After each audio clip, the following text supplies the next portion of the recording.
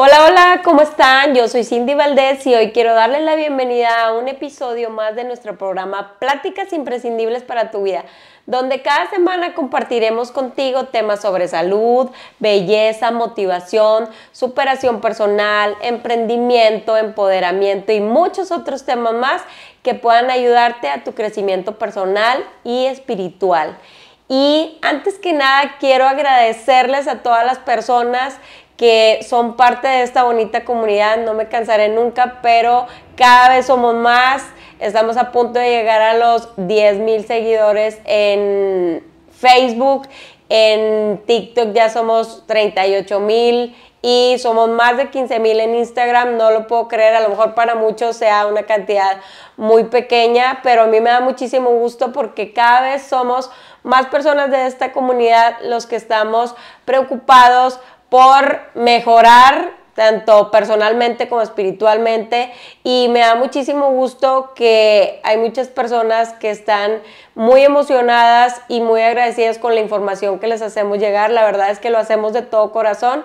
Cuando inicié en este, este programa les comenté que mi pasión es compartir y poder ayudar, no importa que sea una persona, pero si una persona puede cambiar su vida y ser mejor y podemos, podemos dejar algo bueno en su vida, pues ya cumplimos el propósito. Y pues gracias a Dios lo hemos logrado, no con una persona, sino con muchas personas que nos han escrito.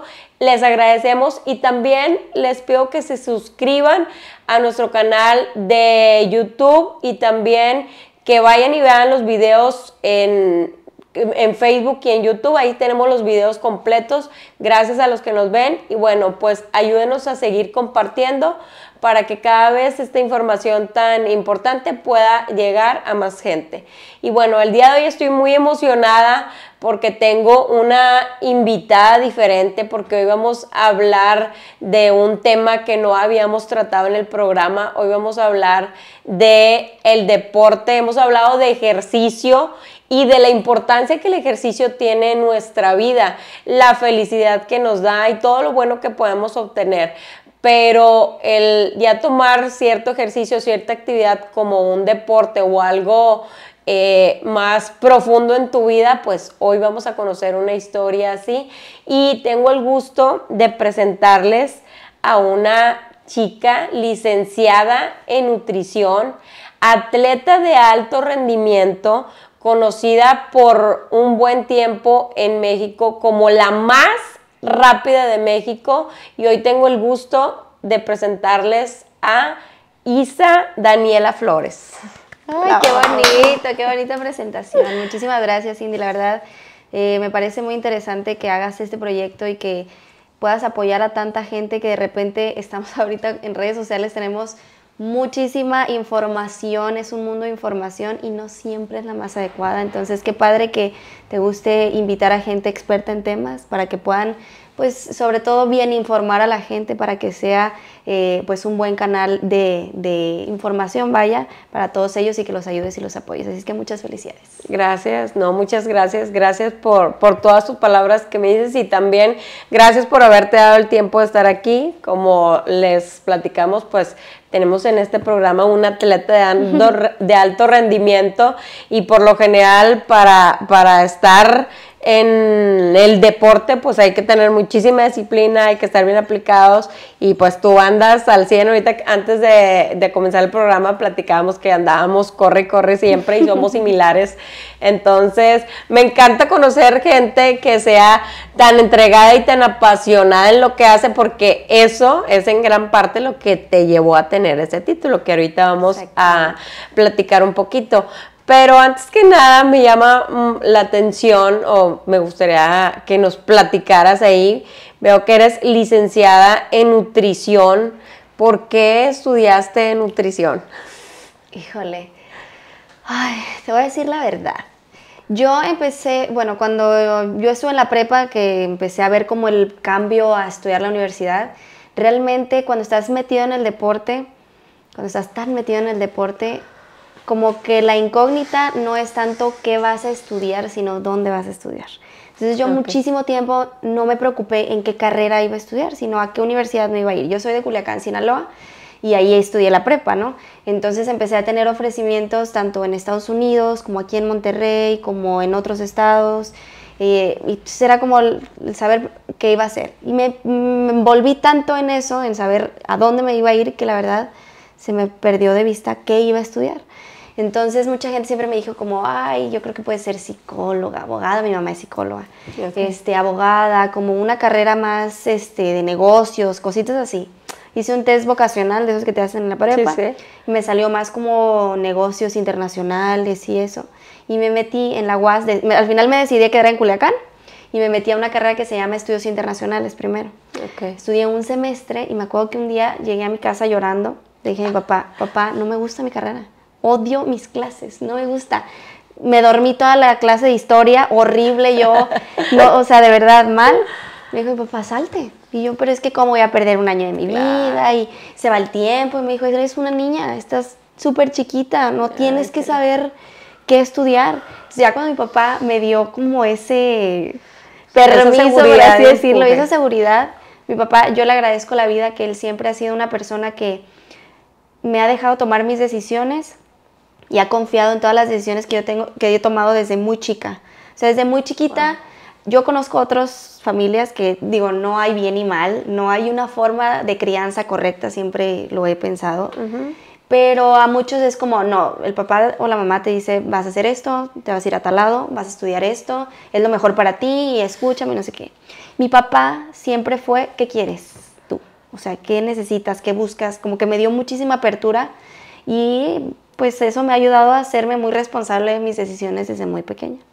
Entonces, este, total, al final me salí de esa carrera y yo en esa época andaba con un novio que estudiaba nutrición. Y él, bueno, enamoradísimo de la carrera, una cosa que platicaba súper bonito de la carrera y pues yo que en ese momento enamorado de él y de lo que decía y todo para mí era perfecta, dije yo pues yo necesito estudiar eso. Además, dije algo que se relacione con lo que yo hago todo el tiempo. Yo siempre quise estudiar medicina más chica, pero el deporte y la medicina, imposible, no, hay manera, no se, no se llevan de la mano. Entonces dije, bueno, el área de la salud, la nutrición siempre va a estar, siempre va a estar relacionada en todo, ¿no? Pero en lo deportivo tiene mucha importancia, claro. ¿no? Súper importante. Entonces como que dije, siento que por ahí es el lado y la verdad no me arrepiento para nada, para nada, para nada. Estoy muy contenta con mi carrera, me encanta, tiene todo que ver todo que ver con lo que hago todos los días, con la gente que me desenvuelvo y que, que convivo todo el tiempo. Entonces, pues digo, así nació, pero ya con el tiempo me fui enamorando de verdad muchísimo de la carrera y hoy disfruto mucho ejercerla. Oye, la, de las historias de por qué eligieron una carrera de la más random que escuchar.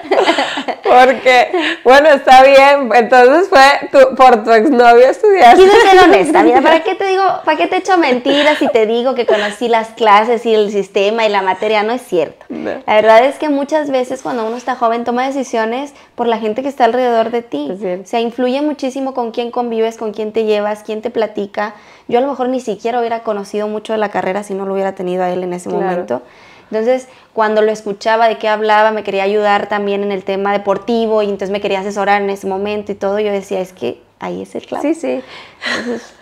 Oye, pero aparte, bueno, me llama muchísimo la atención que tu papá te haya apoyado, o sea, después de un año, y me encanta, y ahorita que dices que no hay una forma de crianza o que esté correcto o no, eh, hace un tiempo que estuvo una psicóloga con nosotros, Vero Marcos, precisamente uno de los videos que tuvo mucho alcance fue el que si los niños de 10 eran felices y está relacionado también con el hecho de que muchísimas veces, eso que comentas no sucede pocas veces, o sea, sucede muchísimas veces o en la mayoría de las familias, la, nosotros como padres queremos que nuestros hijos tengan el éxito que nosotros consideramos como nuestro éxito. O sea, o que estudien lo que se ve o lo que se hacía normalmente.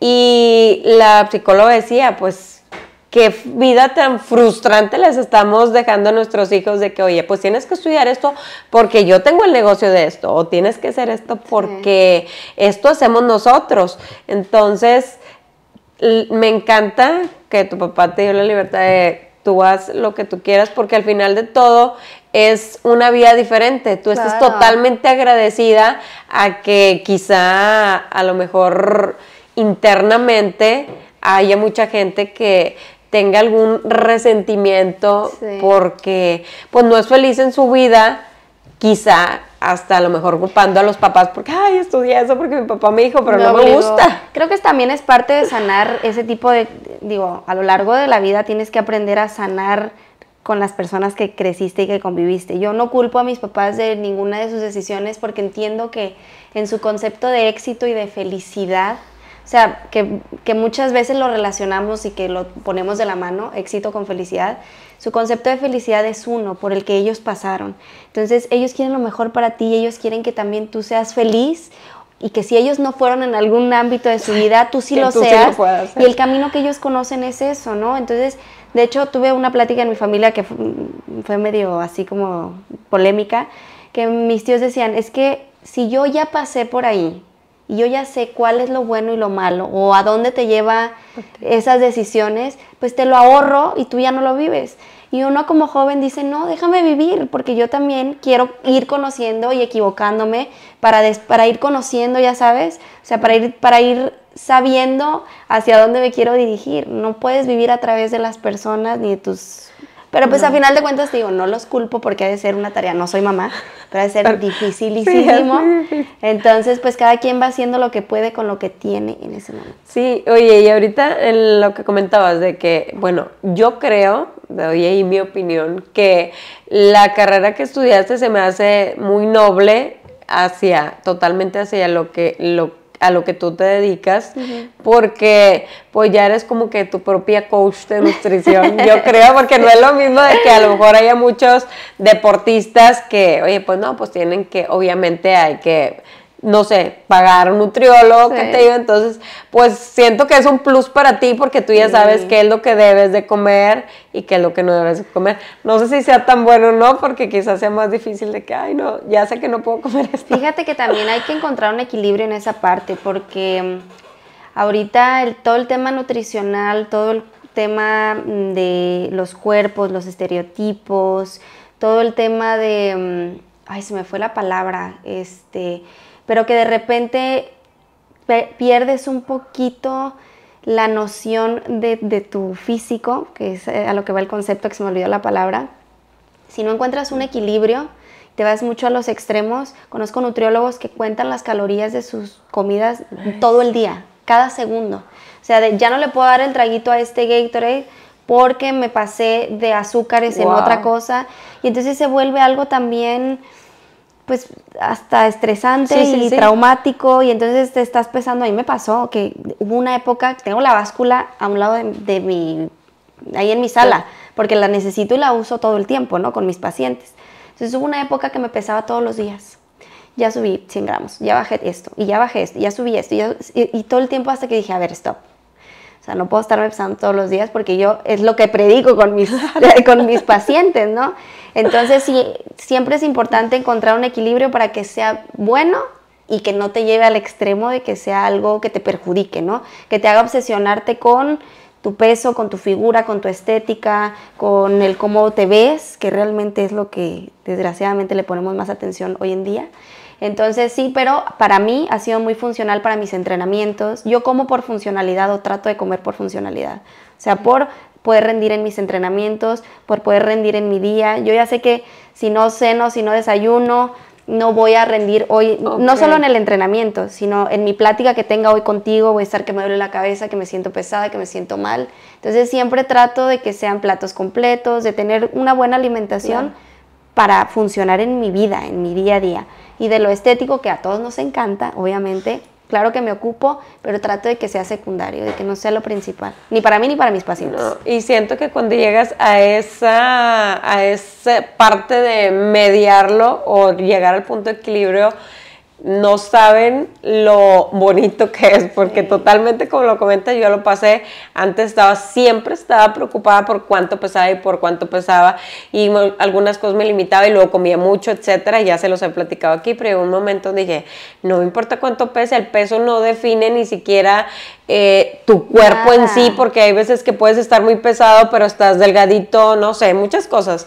Pero lo importante que siempre les hemos comentado es que tengas buenos hábitos, porque puedas estar comiendo malísimo y estás bien delgadito, pero tú estás diciendo, o sea, no estás rindiendo. Y hay gente, como dices tú, hay gente muy delgada que tiene pésimos hábitos y que no está saludable.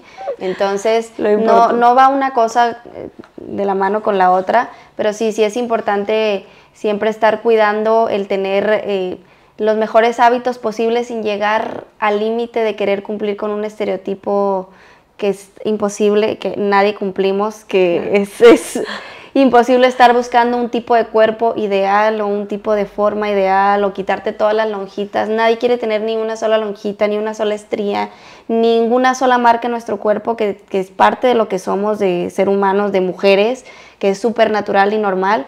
Entonces, cuando encuentras ese equilibrio y empiezas a quererte como estás y así, creo que puede ser más funcional que, de otra, o sea, que perjudicial estar cuidando tus hábitos. Y luego más tú que eres deportista, me imagino, yo presiento que todo lo que estás diciendo, o más bien también lo estás aclarando, es que es un aprendizaje que tuviste en toda tu vida. 100%. Entonces, y más siendo deportista, viendo todas las deportistas que hay, nosotros como mujeres, etcétera, pero bueno, ahorita vamos a ir desmenuzando ese tema. Me gustaría saber, bueno, ya estás estudiando, pero antes de estudiar me dices que ya estabas en el deporte. Sí. ¿Cómo llega a tu vida el deporte, Isa?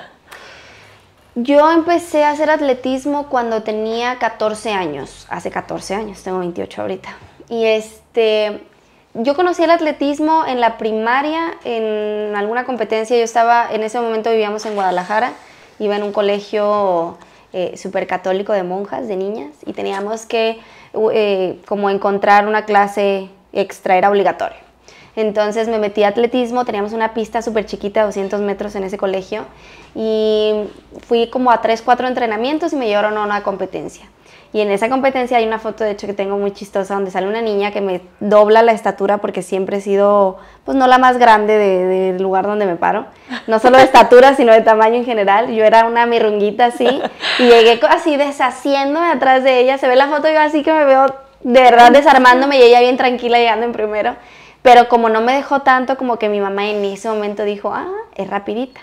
De hecho, te voy a contar yo creía en la primaria que yo era la más rápida corriendo, saltando la cuerda, que ese era mi talento.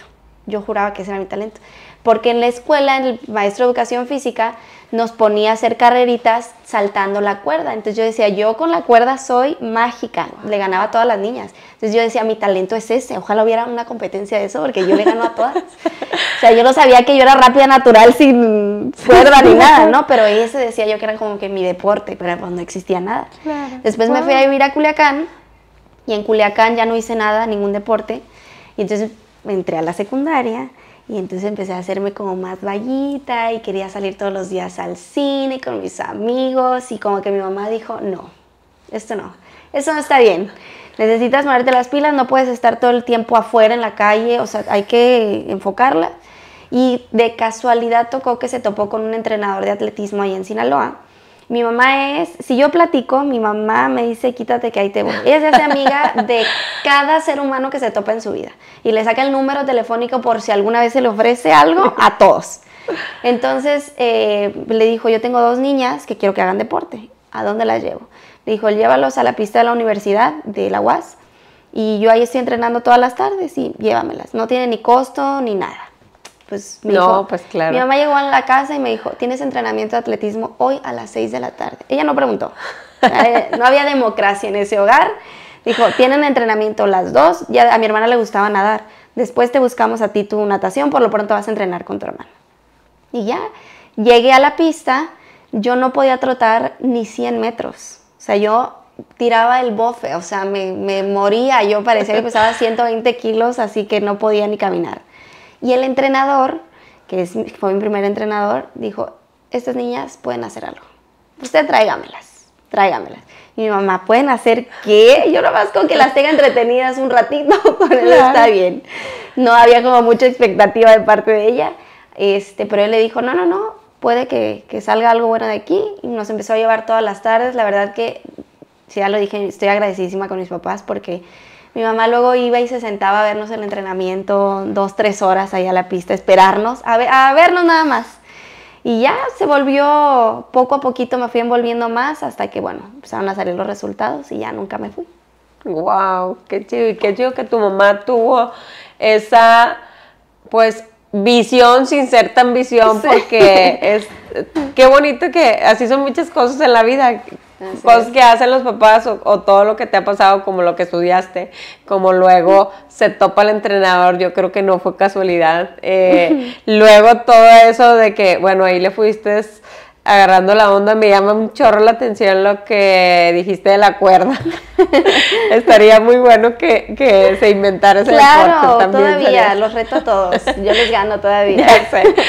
Oye, entonces eh, ya estabas ahí y bueno, comenzaste y corrían, pero ¿en qué momento fue como que el, o sea, no sé, hacían carreras ahí con donde estabas con tu entrenador? ¿En qué momento como que vieron de que eras diferente, vamos a decirle, o ya como que te relacionaron más como que, oye, tiene más potencial? Ese año mi entrenador era, estaba muy metido en todo lo de Olimpiadas Nacionales desde muy chicos. Bueno, cuando yo estaba en esa edad había categorías más chicas todavía. Ahorita la CONADE y todas esas organizaciones han ido recortando un poquito los años de eso, pero antes teníamos más edad para, o sea, más edad hacia abajo para empezar. Mi entrenador estaba muy envuelto en esa Olimpiada Nacional, que se hace de todos los deportes a nivel nacional. Es como los Juegos Olímpicos, pero a nivel México nada más se hace cada año y tiene un proceso. Se hace nivel municipal, estatal, regional y nacional. Entonces te vas calificando y te vas clasificando en esas etapas. Y ahí es como en donde cada año hay categorías. En esa época era infantil menor, infantil mayor, juveniles y así, ¿no? Hasta arriba. Entonces me acuerdo que él nos dijo, la voy a inscribir para a las dos, a mi hermana y a mí. Mi hermana es dos años más chica que yo. Las voy a inscribir a las dos para que ahí empiecen el proceso de, de Olimpiada Nacional. Y yo, en mi vida, no tenía idea de nada de eso. Me acuerdo que fui a mi primer municipal y te digo que en esa época, la verdad es que el deporte era, bueno, al menos en Sinaloa eran eventos muy concurridos. Se llenaban muchísimo. Todavía creo que hay eventos que sí se llenan en algunos estados, en algunas regiones, pero en otras desgraciadamente ya no tanto como antes. Y en esa época yo llegué al municipal y era un evento lleno, gradas llenas, y él, o sea, fue como de mucho impacto, ¿no? Entonces competí, ese año pasé hasta el regional, o sea, me pasé el municipal, me clasifiqué al estatal y llegué al regional que fue en Tijuana. Entonces me tocó viajar. Esos eventos te los paga el, el municipio o te los paga tu estado. O sea, ya cuando vas al regional ya vas representando a tu estado, ¿no? Ya no vas representando a Culiacán, ya iba representando a Sinaloa. Entonces, pues ya el Estado te paga viaje. Bueno, nos íbamos en camión. Hicimos 27 horas, porque además no es el camión de lujo del mundo. 27 horas hicimos con paradas y todo, duermes ahí en el camión. La verdad es que suena muy pesado, pero son experiencias para un niño increíbles, donde vas con tus amigos, cotorreando en un camión, escuchando música y te paras a comer en otro estado que nunca conocías y vas como que agarrando cura con todos y la verdad son experiencias que guardo con mucho cariño. Sí son pesadas, llegas que te duele hasta la pestaña, pero también tienes 14 años. A esa edad te recuperas en 5 minutos de todo. Yo me aviento ahorita 27 horas en un camión y no me levanto en una semana.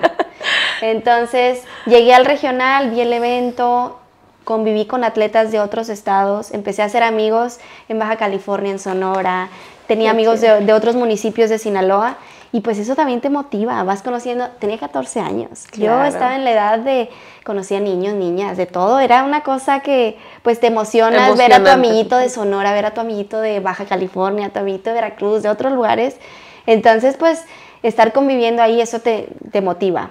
Llegué al regional y ya no clasifiqué. O sea, ya ahí se quedé en octavo lugar de 200 y de saltaba triple en esa época. Entonces yo empecé a ver que todos mis compañeritos viajaban. Después del regional para llegar al nacional hay eventos como de preparación para llegar bien al nacional. Ok. Entonces te llevan como eventos de fogueo, venían a Monterrey o se iban a Ciudad de México, iban a otros estados a competir para foguearse y yo ya no me llevaban porque pues yo ya hasta ahí me había quedado.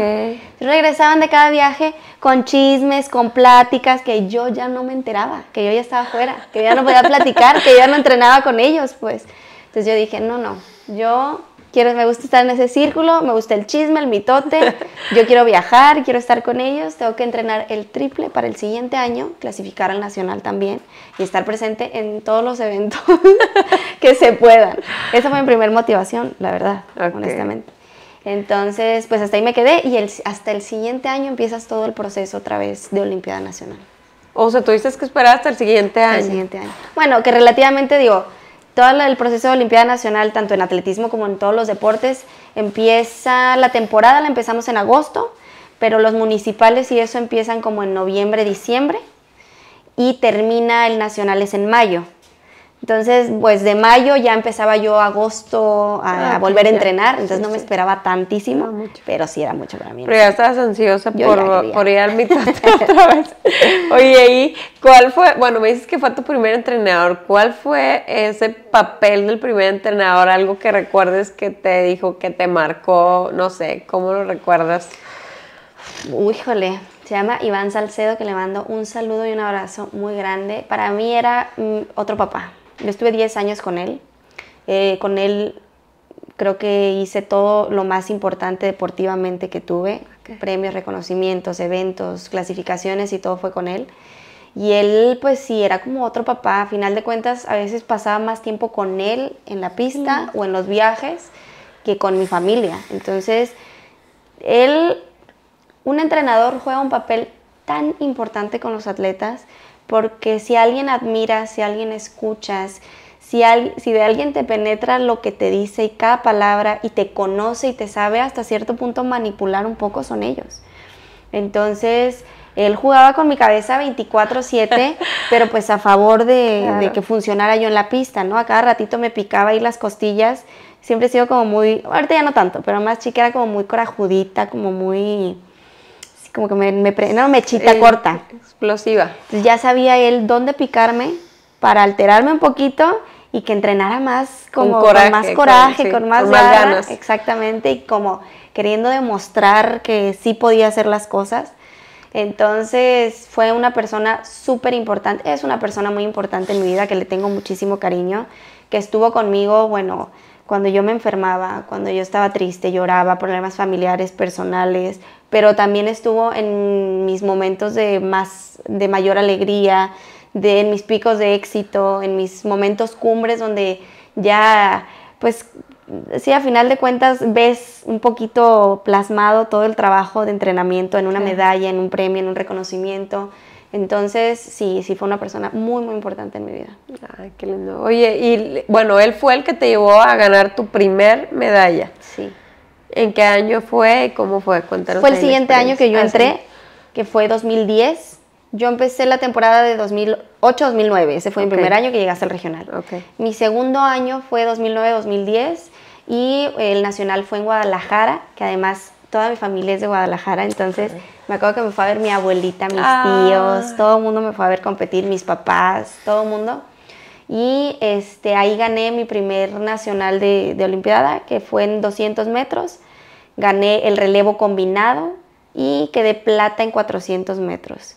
Y fue la primera vez que dije yo, sí puedo.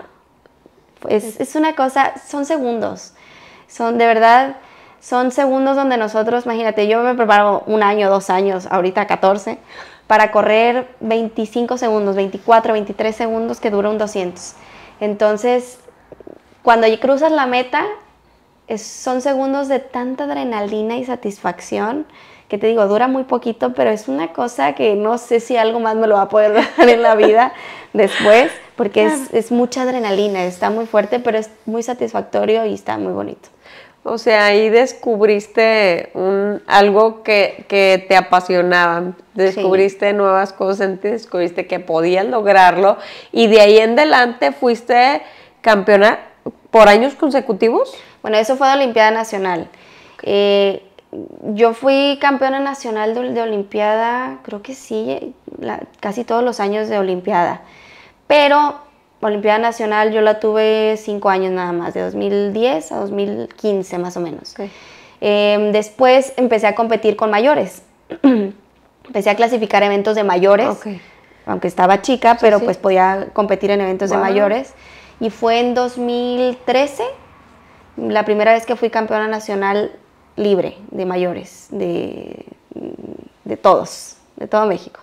Entonces ahí fue la primera vez donde dije yo, wow, sí como que a veces ni uno se cree que puede, aunque la gente, porque tus papás te quieren, mi entrenador me quería y me decía, no, es que podemos llegar a eventos internacionales y puedes clasificar a esto y puedes ser la más rápida y ganar el campeonato nacional y como que dudas un poquito.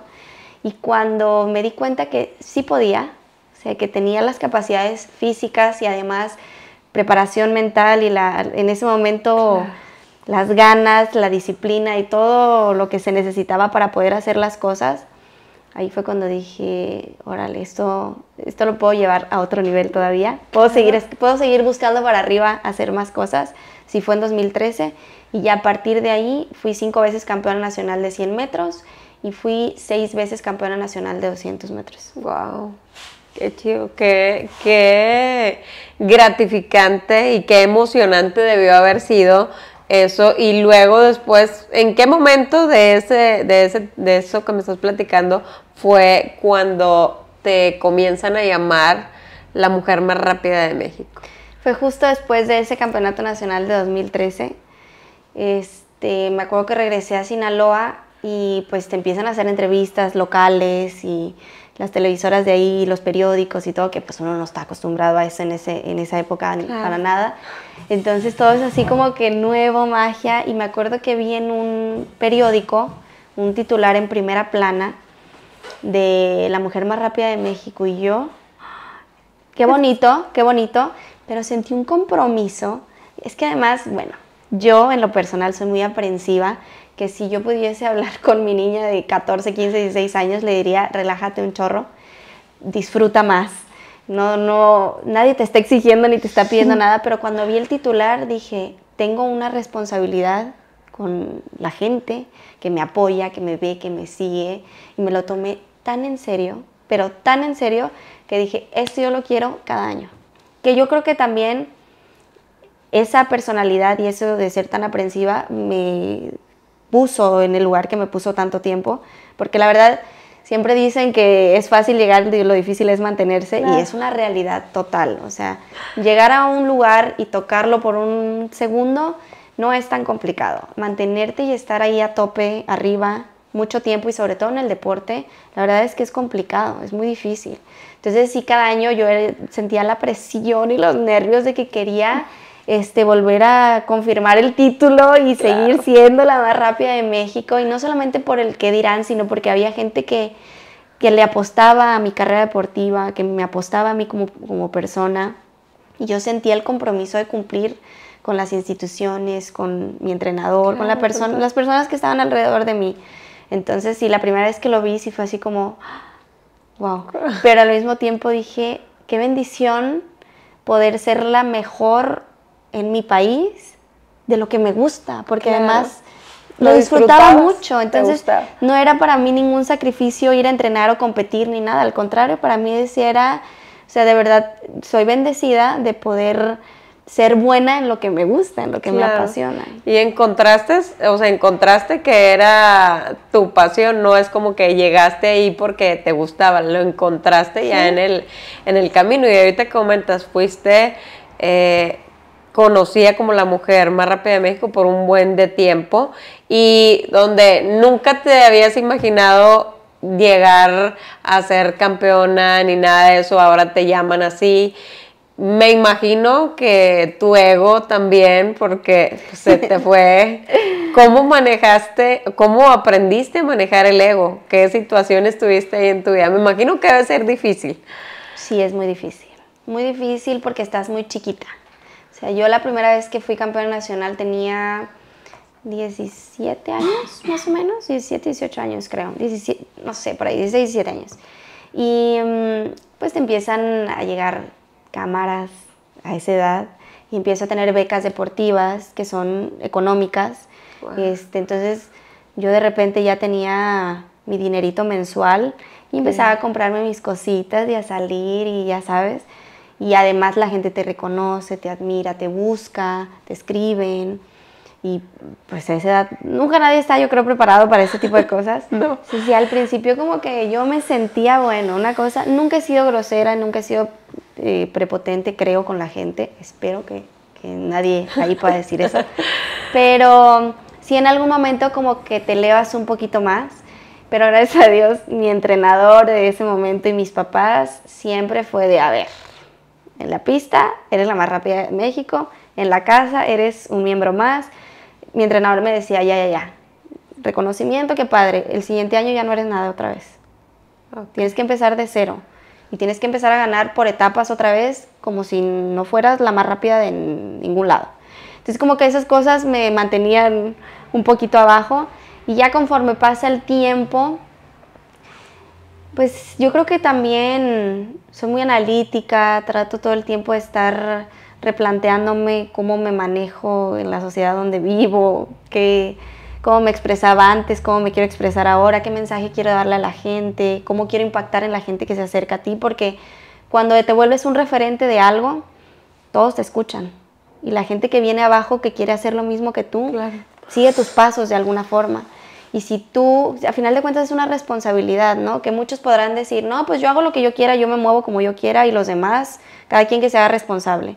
Pero yo creo que es importante que sepas cómo, o, qué bonito más bien que puedas ser un buen referente, un buen ejemplo. Y siempre me ocupé mucho de eso, de que los niños que se acercaban y me decían, yo hago deporte por ti, o quiero correr como tú, o quiero ser como tú, siempre que me vieran o me escucharan, tuvieran algo bueno que aprenderme y no basura o no cosas como sin sentido. Entonces como que esas cosas me mantenían este, abajito y, trataba pues siempre de ser lo mejor posible, que al final también se volvió muy pesado porque siempre, siempre trataba de ser buena en todo y como siempre tener buena palabra, sí, como que me volví muy, muy tensa en ese aspecto. Me he ido relajando un poco, pero pues sí, es parte de ir aprendiendo, de ir equilibrándolo con el tiempo, nunca terminas de aprender, siempre estás en constante evolución, entonces pues poco a poco lo he ido manejando a lo largo de mi vida, lo mejor que puedo. Y, y por ejemplo, ahí cuando dices, tanto tiempo que te preparabas y luego ahorita antes de que comenzáramos me platicabas algo de eso, de que tanto tiempo que te preparabas y luego cómo, o sea, ¿Cuál era tu sentir ya después de que, ah, ya terminé, ya terminé? la verdad, tanto tiempo que me preparé y duró Para esto. Este, pues es que siempre hay una meta adelante, siempre. Entonces era, llegaba la meta, veía el tiempo y siempre ahí decía, bueno, ahora voy por menos tiempo. O voy por el clasificatorio a tal evento internacional. O voy por el siguiente campeonato nacional. Entonces, como que siempre lo vi por etapas, nunca fue así como de, ah, ya, como de, ¿y ahora qué hago? Siempre tenía algo que hacer después de los eventos nacionales. Cada año tenía al menos dos eventos internacionales. Entonces, pues era ahora la visión para el evento internacional que tenía que ir, ya sea el clasificatorio o ya sea directamente al evento. Entonces, como que siempre había algo arriba que me llamaba la atención por lo siguiente que quería ir. Entonces, difícilmente me di el espacio para que también eso estaría bueno que de verdad trato mucho de transmitírselos a los atletas más jóvenes que veo. Disfruta el momento porque siempre estamos pensando en la meta siguiente y no te permites muchas veces disfrutar el triunfo del momento, ¿no? O sea, a veces corres una buena marca, mejoras tu tiempo, bueno, lo que sea que hagas en la vida, ¿no? Logras alguna meta, te titulas, no sé, lo que sea, y no te das el tiempo de disfrutarlo, de aplaudírtelo, de apapachártelo, de decir, lo hiciste increíble, está súper bien, porque ya estás en lo siguiente que quieres.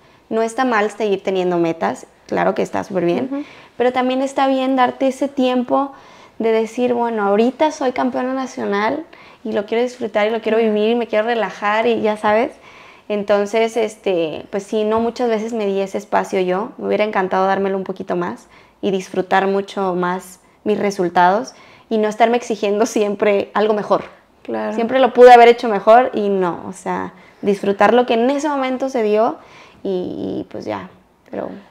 Oye, y, en, bueno, hablando de disfrutar, pero disfrutaste muchas cosas, disfrutaste ah, también conocer, eh, una de las cosas que tú querías hacer, que comentaste ahorita era que viste que comenzaban a viajar, comenzaban a hacer otros lugares, eh, ¿a qué otros lugares fuiste? ¿En qué lugares competiste? ¿Algunas experiencias que nos puedas compartir? Sí, el deporte es una magia, de verdad. Me llevó a conocer países que nunca en la vida pensé que iba a conocer. Yo quería nada más viajar a Monterrey, Ciudad de México, y terminé en China. Este, he conocido muchos lugares de Centroamérica, este, he conocido Panamá, Salvador, Guatemala, Colombia, Brasil, China, este, Barcelona, Italia, todo eso gracias al deporte. Y la verdad es que pues también te abre muchísimo el campo y la visión. Eh, estar conviviendo con atletas de todo el mundo, ¿no? O sea, ya no solamente convives con el atleta de Sonora, que de por sí, entre cada estado entrenamos y vivimos distinto.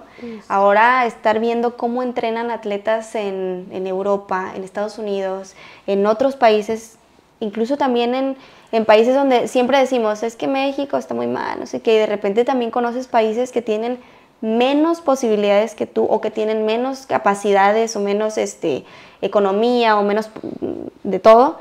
Y también eso te hace agradecer lo que tú tienes y te hace ser pues visionario a lo que puedes mejorar, a, lo que a otras cosas que puedes aspirar. Entonces sí, han sido experiencias muy bonitas. ¿Y alguna anécdota que tengas en alguno de los países por ejemplo, a Guatemala me tocó ir sola. A Guatemala me hicieron la invitación porque querían que compitiera con la más rápida de Guatemala. Hicieron como un evento espectacular, muy bonito. Eh, fue como, el atletismo no es muy visto en México, eso, ni, ni en muchas partes del mundo. Y en esa ocasión en Guatemala se hizo como un llamado a toda la gente de Guatemala pusieron una tarima con presentadores, este, con personas ahí que estaban narrando en vivo las competencias y todo fue, lo hicieron de noche, pusieron luces, fue muy estelar, muy bonito, muy padre. Entonces eh, me trataron como si yo fuera, bueno, eh, Rihanna. Rihanna en Guatemala yo era. Entonces me trataron increíble, fue muy bonito y además este, pues me tocó convivir con 100% porque iba sola de México, no iba nadie más de la delegación. Me tocó convivir 100% con toda la gente de Guatemala y sus atletas y todo. Entonces fue una experiencia muy bonita. China, por ejemplo, muy bonito y todo, pero la comida, cero de cero.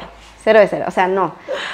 Me acuerdo que vivíamos en, el, en McDonald's. Se volvió nuestra, nuestra fuente confiable. La comida se veía deliciosa. Había un comedor en los mundiales universitarios que eso era te ponen como una cafetería con menú de todos los países, ¿no? Como italiana, mexicana, bla, bla, bla, para que pues cada país pueda comerlo de su país. Se veía delicioso todo, lo probabas. horrible. Y entonces terminamos en el McDonald's, todo, desayuno, comida y cena, para poder comer algo, porque si no, imagínate. Ay, no. Qué experiencias tan interesantes me imagino que tienes en cada país, algunas. Pero luego, después de todas estas competencias, eh, haces algo diferente en tu vida, que es cómo llegas a Exatlón. Sí, Exatlón me invitaron en 2018. Yo en 2017 eh, estuve con Adidas trabajando y ahí conocí a una persona que era la que se encargaba de pues de hablarle a los atletas para el programa, ah, que era como manager. Entonces ahí lo conocí, me invitó a la primera temporada, pero yo en ese momento tenía, creo que tenía un mundial universitario, no me acuerdo qué evento tenía, que yo decía, no puedo, no puedo desaparecerme del mundo porque irte a Exatlón es desaparecerte de la faz de la tierra unos meses. Entonces como que dije, aparte no sé ni cómo va a ser, se veía como que me habían dicho que era como la isla y Survivor y no sé qué, dije, no hay manera que yo me ponga a cazar por comida, no sé ni prender la estufa en esa época, ¿verdad? Ya sé. Este, no, me va a morir de hambre. Aparte estaba, si ahorita me ven delgada, en esa época pesaba 10 kilos menos todavía. Estaba un palitititito. Dije, voy a regresar en los puros huesos, no hay manera. El siguiente año que me hablan, como que yo estaba entrando en una época en donde me estaba aburriendo un poquito y como que decía, ay, tengo muchos años haciendo lo mismo en mi deporte, cada año y cada temporada es exactamente lo mismo. y me hablaron para hacer refuerzo. Pero cuando me hablan me dicen, si aceptas decirte mañana, ya. No casting, no nada. Te ocupamos de refuerzo para mañana sales a República Dominicana. Y yo, así como, lo hago, no lo hago. Me acuerdo que mis papás estaban comiendo, me acerqué y les dije, pa, sucede esto, ¿qué hago? Vete, me dijeron. Vete, es una oportunidad que no se te va a presentar dos veces seguramente. Anímate, vete. Mi novio en ese momento también me dijo, vete, vete, vete, vete. Entonces, ni la pensé, le mandé mi pasaporte, la foto, vámonos. Para el día siguiente ya estaba volando a República Dominicana. Wow, y luego llegaste, que, o sea, ahí cuéntame porque yo creo que todos hemos visto en algún momento el programa y tenemos ahí como que la duda eh, de si realmente todo es, eh, no está así como que ya todo planeado, de que no sé, tú vas a ganar, etcétera. No sé, o sea, cuéntanos ahí, llegaste, cuál, qué fue lo que viste, qué hay, cómo es, cuál es el proceso de que llegas y qué te hacen o qué onda. Llegué y empecé, me empezaron a hacer como unas tomas como para la introducción de, las personas que íbamos a entrar, que éramos otra compañera y yo. Y este, pues no me decían mucho, la verdad, solo me decían, vas a entrar al circuito directamente. ¿Y yo, ¿qué es un circuito? ¿A, cómo? Ya había visto el programa, ya tenía dos meses al aire y ya sabía más o menos todo. Y yo, pues sí, pero ¿cómo? ¿Me van a dar instrucciones? ¿Me van a enseñar? Nos llevaron directamente al circuito, que era el más largo que yo he visto que hay en todas las temporadas, no creo que haya otro más largo que ese, era de 150 metros. Y en la tele se ve de cierto tamaño. Yo llegué y lo vi en persona y dije, no hay manera. O sea, eran, son unas cosas gigantes, tirolesas, que están altísimas.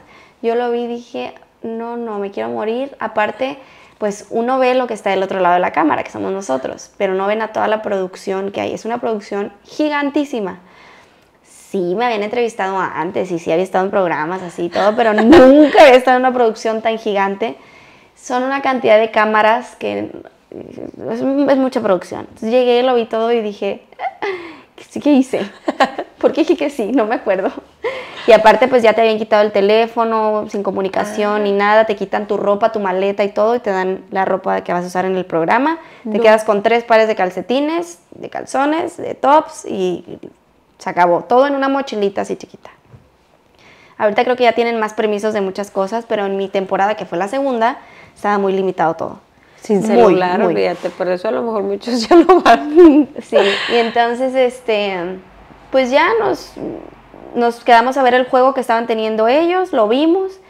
Los juegos duran como 4 o 5 horas, ustedes lo ven súper resumido y eso que es un programa largo. Este, y yo me moría de los nervios. Y ya que me tocó mi participación, bueno, yo según como la más rápida de México, atleta de alto rendimiento, increíble este, ritmo que traía y condición y todo, bueno, yo llegué, si alguien busca por ahí el primer capítulo donde yo estuve, llego a rastras y gatas, así, yo no podía ni respirar, dije yo, ¿qué es esto? Y ya me escogió, te iban a escoger los equipos, a mí me escogió el equipo rojo, quiso que yo estuviera con ellos, que era el de los famosos. Y ya a partir de ahí empezó mi aventura, que duró dos meses, estuve dos meses en el programa. Y este, pues así fue como entré. Ay, no, qué difícil. O sea, estabas acá, como tú dices, estabas acostumbrada a, a, Qué difícil el tema de adaptarte totalmente a algo nuevo en cuestión de las actividades y aparte en cuestión de la producción. o sea, es nada más como que están en, no sé, están en el, el evento y ya, ya después como que ustedes se van y cada quien está como que en su cuarto, no sé, o no, o, sí, o sea, ¿tienes tu privacidad? No, no, no, privacidad nunca cero privacidad. Este, pues no, a final de cuentas te, estás te están grabando 24/7. No. Entonces tú estás en los circuitos y de ahí te vas a la casa donde estés viviendo. Hay dos casas, una que también peleamos por eso, la cabaña o ah, la fortaleza. O sea, eso sí Entonces, este, pues te vas ahí y ahí te graban cuando comes, cuando duermes, cuando absolutamente todo. De hecho, me acordé ahorita que me preguntaste del tema del ego. Yo creo que a todos los atletas que vamos a Exatlón nos ha pasado en, estoy casi segura que la mayoría, donde te topas con una realidad distinta completamente. La mayoría somos los mejores en nuestro deporte y llegas a Exatlón a hacer una actividad totalmente distinta donde están involucrados tiros que nada que ver con lo que uno hace afuera. Y entonces llegas y yo, por ejemplo, llegué y venía de ser la más rápida de México, venía de eventos internacionales y todo excelente, y llegué a ser la peor del hexatlón. O sea, la peor de mi equipo, no daba una. Todos ellos además ya traían muy buen ritmo y yo no tiraba ni un tótem, ni un nada, llegaba cansadísima. Y ahí es como otro baño de realidad de no todo es tu deporte. O sea, de allá en la pista eres la más rápida y eres muy buena, pero en otros ámbitos no siempre vas a ser la mejor y no siempre vas a ser la, la, más buena. Pero al final de cuentas ese baño de realidad también te ayuda, es mucho crecimiento, es mucha introspección. Yo siempre digo que fue como mi retiro espiritual forzado. sin teléfono, sin nada, nada más estás pensando y analizando lo que has hecho, lo que quieres hacer, lo que estás haciendo, para dónde quieres eh, dirigirte. Entonces fueron dos meses literal de, de retiro. Ay, no, y entonces estabas en ese momento en el que tuviste que, yo me imagino que tuviste que como que luchar otra vez con tu ego de que, oigan, aquí llegó la más rápida de México, así es que soporten, entonces ya como que te empezaste a topar con, con, otras, o sea, con otras personas que, como tú dices, te das cuenta que iban a otro ritmo totalmente diferente a ti. No hay un momento donde te sentiste como que, ¿qué estoy haciendo aquí? ¿En qué momento? Yo tengo una, una de mis compañeras de Exatlón que se llama Carmelita Correa. Me acuerdo que estábamos un día en la playa donde ya, ahí, tenía, ahí sí teníamos un poquito de privacidad, nos metíamos un poquito al mar y era donde podíamos platicar más cosas íntimas. Y yo me acuerdo que ella me dijo, porque yo me ponía muy mal de no de no ganar, pues, o sea, de no, que no me fuera bien en los juegos. Me frustraba mucho. Todos los que estamos ahí no sucede. Si no te está yendo bien en los circuitos, te frustras y dices, ¿qué onda? O sea, ¿por qué no puedo? ¿Por qué no me sale? Y me acuerdo que me dijo, a ver, ya, supéralo. Eres la peor que tenemos ahorita. Y yo, ¿qué te pasa? Oye, grosera, llorando así. Pero no siempre vas a ser la peor, me dijo. Trabaja, esfuérzate, levanta, entrena esto. Entrena tiros, piérdele el miedo, poco a poquito trabájalo y en algún momento vas a mejorar. Sí, en este momento eres la peor. Acepta la realidad que tienes en ese momento. Duro, cruel, por eso la amo y por eso va a ser mi amiga eterna, porque también alguien que te quiere y que, digo, teníamos ya la confianza, no cualquiera, no crean que le puedes llegar a decir tus verdades a todo mundo, no, eso no es cierto. Este, pero bueno, con ella tenía esa dinámica y nos llevábamos de esa forma y también de repente que alguien te diga y que sea tan honesto contigo y que no nada más te siga el barco y que no nada más te tire al león como dicen aquí, este, pues también de repente como que dices, ok, sí es cierto. A partir de ese día me acuerdo que me, me levantaba a entrenar, me puse y mejoré un montón y me empezó a ir súper bien. Dije yo, va, pues sí, no es nada más que no te está funcionando algo y sentarte a llorar y decir no me sale. Entonces trabaja para que realmente te salga así como trabajé en algún, no, no llegué siendo la más rápida de México y se te olvida eso de repente. O sea, yo entrené mucho para poder llegar a ser la más rápida de México. Entonces cambias de ámbito y es lo mismo, empezar de cero y trabajar y esforzarte un montón y volver a doblar las manitas y saber escuchar y saber ver, porque mm, también eso nos ciega mucho de repente. Tienes que saber a quién le tienes que aprender, a quién le puedes aprender. A veces mm, está bien callarse poquito y observar y entender y analizar y absorber de la gente entonces, pues eso me ayudó mucho para poder avanzar ahí en el programa.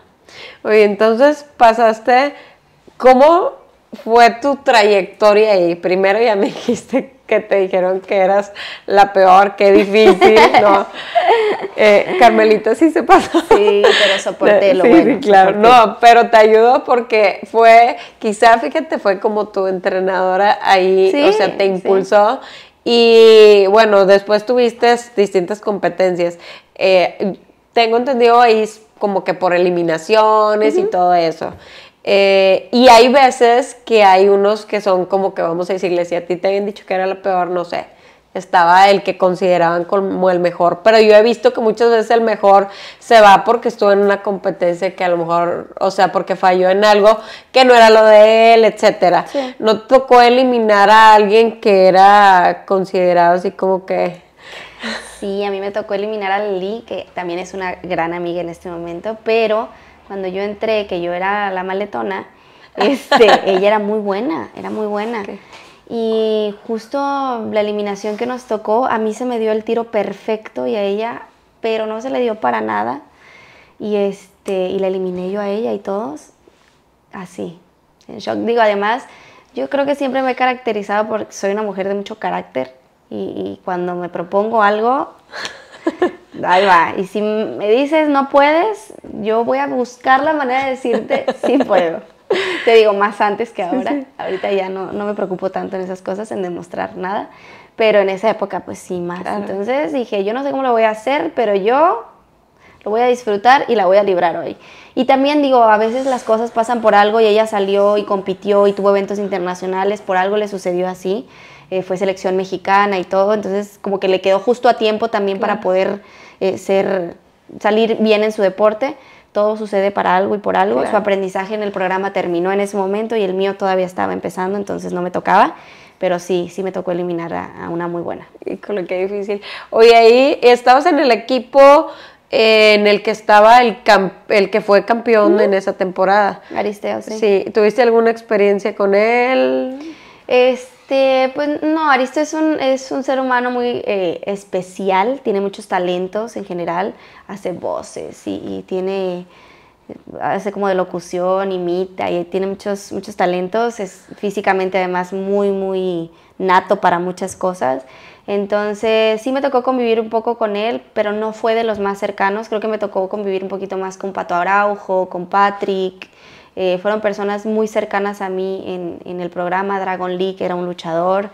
Que pues a final de cuentas todos, convives 24/7 con todos. Entonces de repente te acercas con uno, luego ya te aburrió y quieres hablar con el otro, luego ya te aburrió también, y con la palmera y con el techo y sola. Entonces, sí, a todos los llevo en mi corazón, los quiero muchísimo. Eh, vamos a compartir siempre una experiencia de vida, eh, entonces pues a todos tienen un, lugarcito en mi corazón. Claro. Oye, y ahí yo tengo una duda, cuando tú vas, ¿te pagan, Isa, o no? O sea, ¿recibes un pago por ir ahí? Mm, sí, todos tenemos este, un sueldo, hay diferentes sueldos, pero además pues por lo que compites es por el, por el premio final, ¿no? Sí, sí, claro. Que es el millón o dos millones, creo que es ahora, no sé. Es un millón y un millón porque ahora hay dos ganadores. Antes solo era uno. Y, este, y pues sí, tú compites por eso, pero sí tenemos, tenemos un sueldo. Ah, wow, al menos está interesante porque en lo que, en la trayectoria que tenemos con las personas que han venido, ya sea que estuvieron en la tele o que fueron algún reality, cosas así, pues a veces hay cosas así medias, medias turbias, pero, y, y, muchas veces no les pagan porque es como que, oye, pues vas a salir muy difícil porque dejas de generar afuera. Sí, claro. O sea, imagínate irte a encerrar un tiempo, pues dejas de trabajar, dejas de generar, entonces alguna ganancia debes de tener también por el tiempo que estás en televisión y a cuadro, ¿no? Pero pues sí, lo interesante realmente es el premio final. Ya Oye, ¿y tuviste en algún momento, bueno, yo sé que está el, que dirige el, programa, ¿tuviste en algún momento algún encuentro con él, alguna experiencia? Sí, Rosy, que es un ser de luz de verdad y se volvió, se vuelve hermano de nosotros también ahí en la, en la ah en la experiencia, porque al final de cuentas él también está lejos de su familia, está solo. Yo me acuerdo que yo, pues nosotros no teníamos muchas cosas de higiene personal, ni perfumito, ni nada por el estilo. Entonces de repente ya era el olor de húmedo de todos los días que uno traía, que ya ni te das cuenta, porque pues todos andamos igual. Y llegaba Rosique fresquísimo, además en sus trajes acá blancos, impecables, limpios y oliendo, que llegaba y todas así de ay, qué rico oler a bañar, a recién bañado, a limpio. Y ya se acercaba y le decíamos, a ver, acércate un poquito porque hueles bien rico.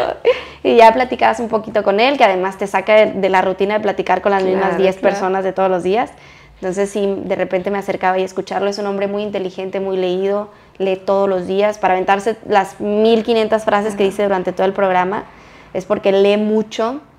Entonces, es una persona muy preparada, muy amable, tiene un corazón súper noble y súper lindo, entonces sí, sí me tocó convivir bastante con él y lo agradezco. Mm, qué tío, qué bonita experiencia y qué bonito que todos fueron un, o sea, un equipo, porque me imagino que también eh, hubo algunos momentos difíciles, pero pues tienes que aprender. Pues es que son roces como todo, o sea, cuando convives, si teniendo una roomie o tu esposo o tu hermana, que de repente estás conviviendo con ellos todo el tiempo, hay algo que no te parece, desde que no recogió bien algo hasta a lo mejor temas un poquito más complicados, pero pues lo hablas, lo platicas, tendrás alguna discusioncita ahí, externarás lo que no te parece o lo que sí te parece, pero en mi temporada mi equipo la verdad fue muy unido, nos llamábamos muy bien y había muy buena comunicación, entonces como que todos teníamos personalidades que, se equilibraban bien entre todos y cuando uno subía de tono así, los demás sabíamos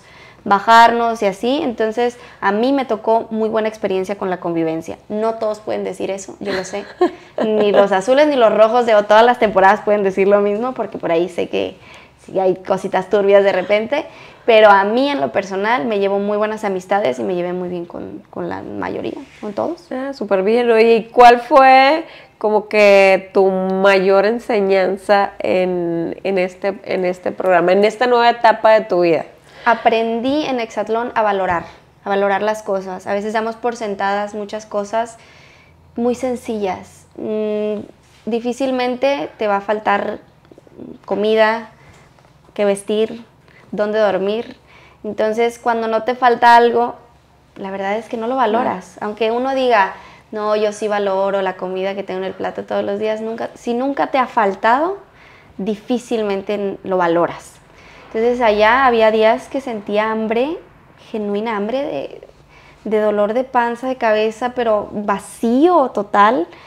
Un plato de comida tú no sabes cómo lo valoro, ya es de, por vida. Doy gracias a la vida y a Dios que pueda tener un buen plato de comida, tener dónde dormir. Cuando te toca la, la casa, que no es la fortaleza, la cabaña, dormíamos en colchoncitos así de flaquitos.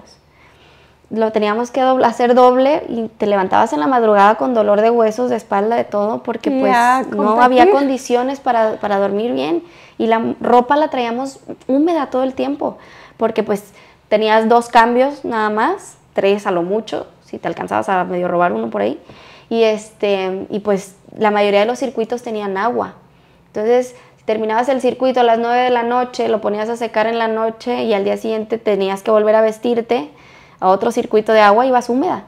Entonces, aprendes a valorar tener ropa decente, limpia, que huela rico, un buen baño, eh, a valorar a tu familia, el no tener contacto también el no tener la posibilidad de comunicarte con tus papás, con tus amigos, con la gente que quieres, de verdad es súper frustrante. Ahorita, no sé, yo vivo lejos de mi familia, yo vivo sola aquí, pero estoy a esto de hablar con mi mamá. Claro. Y hablo todos los días con ella. Si la extraño, hago videollamada, la tecnología es una maravilla ahorita y hay muchas maneras de sentir cerca a alguien. Pero estando allá, no tenía nada. Entonces era nada más acordarte, imaginar y todo. Entonces ese tipo de cosas aprendí a valorarlas muchísimo y yo creo que fue la enseñanza más grande que me quedó. Oh, no, pues ¿cuál más querías y te enseñó todo? Realmente te enseñó. Oye, qué interesante y qué bonita tu historia porque nos damos cuenta nuevamente, pongamos atención en que cada cosa de tu vida que te pasa debes de agradecerla cuando te va bien, que a ti te fue bien mucho tiempo y te ha ido bien en, en muchos aspectos de tu vida, pero también tuviste momentos difíciles que son los que te hicieron madurar y ser la Isa que eres ahora, porque quizá habrías perdido el piso en el momento del ego, del auge del yo soy la más rápida de esto, del otro. Entonces, siento que Dios te puso cada etapa de tu vida para, para darte una enseñanza de que un día puedes ser todo y un día puedes estar, un día puedes estar con los aplausos y todo y un día puedes estar con dolor de estómago porque te estás muriendo de hambre. Sí, yo siempre he dicho que los buenos momentos son para disfrutarlos, los éxitos, los triunfos son para disfrutarlos 100% y los malos momentos que vamos a tener siempre y que van a existir todo el tiempo, son para aprender. O sea, no soy de la idea de pensar que todo pasa por algo, pero si ya te pasó, encuéntrale un sentido y haz que tenga, que tenga un significado en tu vida, que le aprendas algo, que no pase en vano si ya la estás pasando mal, si eso te está generando un mal sentir o lo que sea, utilízalo como aprendizaje para para subir al siguiente nivel, vamos a decirlo así. Entonces, he tenido malos momentos, muchísimos, muchísimos, muchísimos. Bajones, he perdido carreras muchas veces, me ha ido mal en mi deporte muchas veces, he tenido lesiones, bueno, picos, así como hay picos para arriba, hay picos para abajo, pero esos son los momentos donde te plantan más en la tierra, donde te hacen crecer más, donde te hacen madurar, valorar los picos de arriba, los buenos momentos. Entonces, y a final de cuentas todo es un aprendizaje y mientras te sepas rodear de la gente adecuada, mientras tengas un, equipo y un, círculo de apoyo siempre eh, bonito, creo que es más fácil poder pasar mejor esos momentos porque solos eh, creo que no es necesario, está difícil y nadie estamos tan solos, la verdad. Siempre hay alguien que está viendo por ti, preocupado por ti, no hay necesidad de pasar las cosas solos. Entonces yo estoy muy agradecida con toda la gente que ha caminado a, un lado mío en cada momento de la vida. Las personas son pasajeras, pero si aprendes a disfrutarlas en ese pasaje que están contigo, creo que puede ser súper bonito. Yo estoy agradecida con todas las personas que han caminado conmigo en mi trayectoria deportiva, profesional, personal, en cualquier ámbito, porque pues también colaboraron a que sea la persona que soy hoy, que sea la mujer que soy el día de hoy. Entonces, pues sí, disfrutar lo bonito y aprender de, todo lo malo de cada momento. ¿Y qué le, qué le dirías, Isa, a todas esas personas que a lo mejor nos puedan estar viendo, tanto, bueno, al, no sé si a lo mejor nos esté viendo alguien que quiera incursionar o que tenga la ilusión de ser deportista de alto rendimiento, y también, ¿qué les dirías a los padres de, esas personas, si es que todavía viven con sus padres, o a los papás que un consejo que les puedan ayudar a sus hijos, algo. Ay, los papás siempre van a ser muy importantes a la edad que tengas. Uno puede ya no vivir en su casa y ya no estar con tus papás y tener el apoyo de tus papás siempre va a ser imprescindible. Para los papás les digo eso, que a mí en lo personal, si algo me ayudó muchísimo es que tuve a mis papás, ambos, atrás de mí empujándome todo el tiempo. Sin ellos no hubiera hecho nada de lo que logré en mi vida. Entonces los invito a que alimenten los sueños de sus hijos, a que los escuchen, a que les regalen tiempo de calidad, a que eh, estén presentes, pero además tengan paciencia y además tengan constancia junto con ellos. Eh, son los porristas número uno que, que, uno tiene, entonces eso les diría, apóyenlos muchísimo. Si tienen un sueño, crean en ellos y apóyenlos porque se los van a agradecer toda, toda la vida. Y para los jóvenes o quienes quieren empezar en el deporte, no tan jóvenes, niños o de la edad que sea, que tengan muchísima paciencia, que tengan mucha constancia. La disciplina es clave en cualquier cosa que te, que te pongas, pero sobre todo que disfruten mucho el proceso. Vamos tan preocupados en buscar la meta final que se nos olvida que el proceso y lo del medio es lo más importante de lo que sea que hagas en tu vida. Siempre estás preocupado en ya ser licenciada, en ya graduarte, en ya comprarte el carro, en ya terminar el proyecto, en ya ir a la competencia más importante. Estás tan preocupado en el objetivo final que se te olvida que lo que te va a quedar de aprendizaje toda la vida es el trayecto.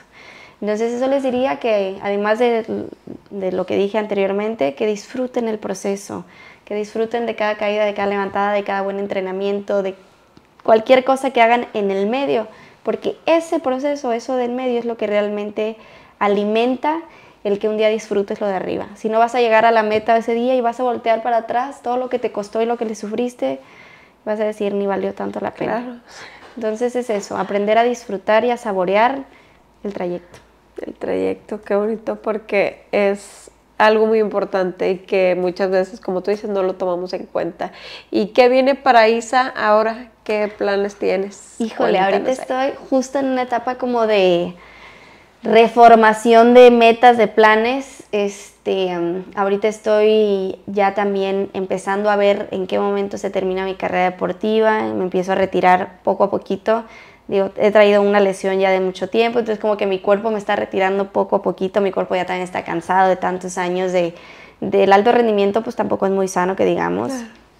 Son muchas friegas continuas todo el tiempo, entonces mi cuerpo también está cansadito.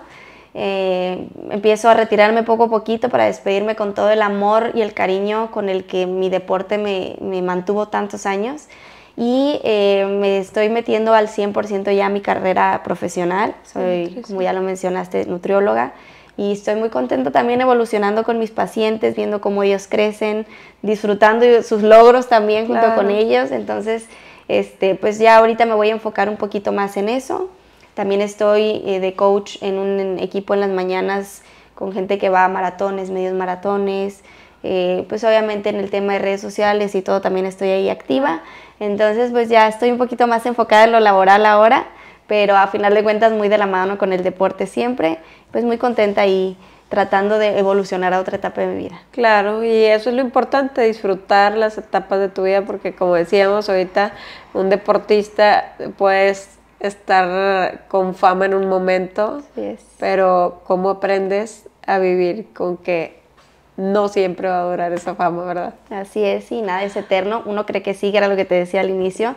Eh, fuera, fuera de cámaras que estábamos empezando a platicar, este, uno cree que es toda la vida, que toda la vida va a durar eso que estás haciendo y, pues ya después pasa el tiempo y te das cuenta que no, que nada es eterno.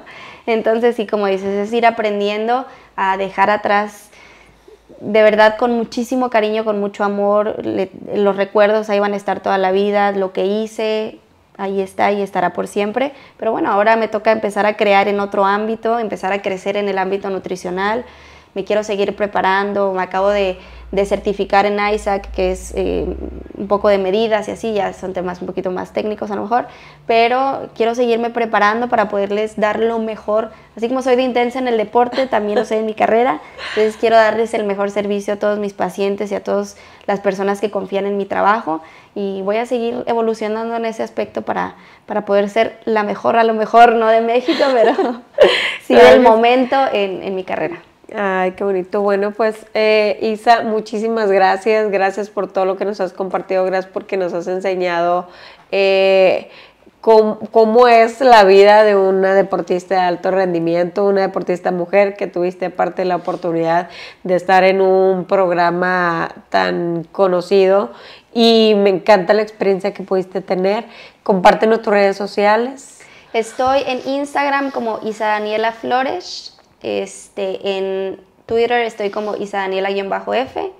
Y en TikTok también estoy como Isa Daniela Flores. Entonces, ahí ya casi no lo uso, estoy empezando a querer usarlo un poquito más. Uso más Instagram, pero bueno, ahí estoy, ahí estoy activa en mis redes sociales. Bueno, pues por si alguien tiene alguna duda, ya ven que está también el tema de nutrición, pero cualquier duda que puedan tener de del deporte, estoy segura que Isa va a estar ahí para, para apoyarles.